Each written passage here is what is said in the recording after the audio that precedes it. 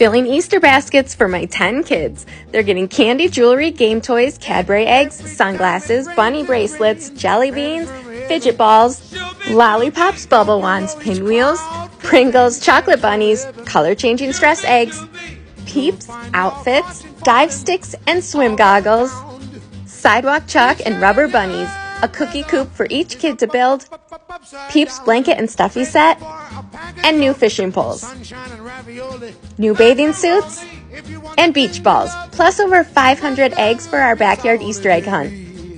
I'm using beach buckets as their Easter baskets and putting one of everything in each.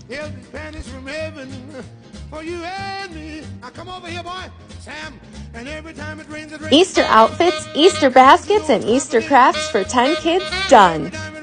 Happy Easter!